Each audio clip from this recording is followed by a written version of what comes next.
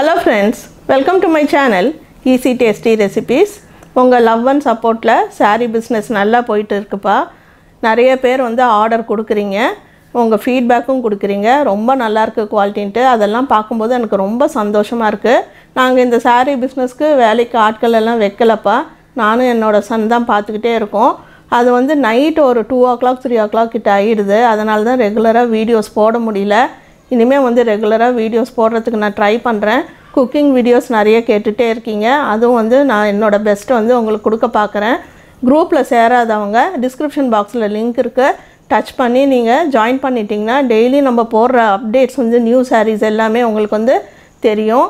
இன்னும் உங்கள் சப்போர்ட் வந்து இன்னும் எனக்கு இருக்கணும் கிடைக்கணும் அப்படின்னு நான் உங்களை வேண்டி கேட்டுக்கிறேன். இன்றைக்கி வந்து யூஸ்ஃபுல் டிப்ஸ் தான் பார்க்க போகிறோம் மாவுடு ஊறுகாய் செய்யும்போது அதில் கொஞ்சம் விளக்கெண்ணெய் சேர்த்துட்டோம்னா அந்த ஊறுகாய் வந்து கெடாமல் நீண்ட நாட்கள் வந்து நல்லாயிருக்கும்.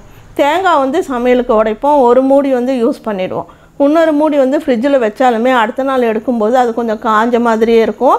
கொஞ்சம் நேரம் தண்ணியில் போட்டு வச்சுட்டு அப்புறம் எடுத்தோன்னா அது ரொம்ப ஃப்ரெஷ்ஷாக இருக்கும்.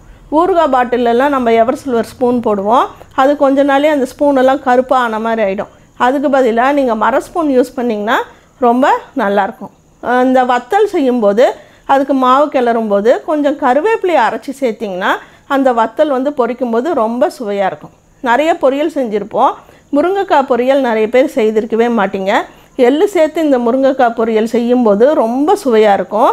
எள்ளை வந்து வெள்ளை எள்ளை நல்லா ட்ரை ரோஸ்ட் பண்ணி பவுடர் பண்ணி வச்சுக்கோங்க.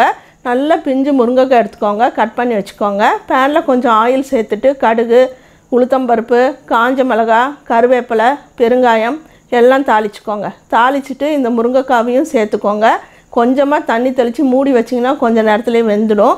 அதுக்கப்புறம் தேவையான அளவு உப்பு இந்த இடித்த எள்ளு பொடி எல்லாம் மேலே தூவி இறக்குனீங்கன்னா ரொம்ப சுவையான முருங்கைக்காய் பொரியல் உங்களுக்கு ரெடி ஆகிடும் நிறைய பேர் வீட்டில் வந்து கேரட் வந்து ஒரே மாதிரி பொரியல் தான் செய்வாங்க. பாசிப்பருப்பு சேர்த்து செய்யும்போது இன்னும் சுவை வந்து ரொம்ப அதிகமாக இருக்கும். பாசிப்பருப்பு கொஞ்சம் எடுத்துக்கோங்க. அது தண்ணியில் கொஞ்சம் நேரம் ஒரு பத்து பதினஞ்சு நிமிஷம் ஊற வச்சுக்கோங்க. கேரட்டை நல்லா துருவிக்கோங்க.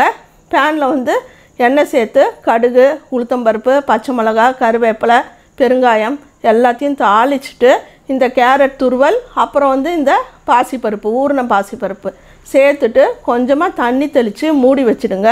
கொஞ்ச நேரத்தில் ரெண்டுமே நல்லா வெந்துடும். வெந்த பின்னால் கில்லு பதமாக தான் இருக்கணும். பாசிப்பருப்பு வேகிறது ரொம்ப குழைய வேக வைக்கக்கூடாது. அப்புறம் தேவையான அளவு உப்பு சேர்த்துட்டு மேலே நல்லா தேங்காய் துருவி போட்டுட்டிங்கன்னா சுவையான கேரட் பொரியல் உங்களுக்கு ரெடி ஆகிடும் இது அப்படியே சாதம் போட்டு கிளறி கேரட் சாதமாகவும் நீங்கள் தரலாம். இந்த டிப்ஸ் எல்லாம் உங்களுக்கு பிடிச்சிருக்குன்னு நினைக்கிறேன். தேங்க்யூ